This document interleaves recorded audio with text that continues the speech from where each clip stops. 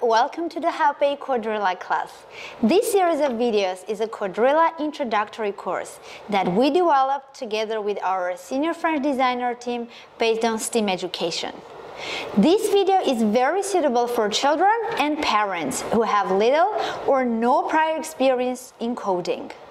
At HAPE, we believe that children can learn the basic concepts of coding through continuous practice. But first, what is coding?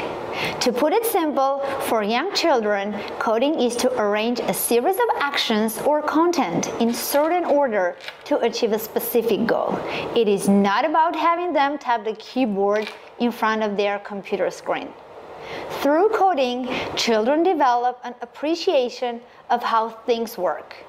Coding can enhance children's logical and problem-solving skills, as well as their color identification and imagination. Finally, learning coding can help children understand other STEAM subjects.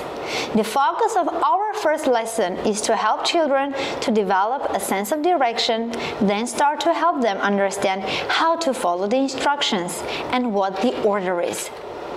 Let's take the example of the fun game called Find the Toys.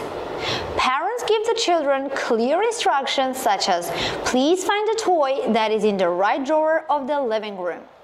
So, to complete this task, children need to receive the instruction and the direction. Such a little game not only can help children to improve their communication skills, but also develop their sense of direction.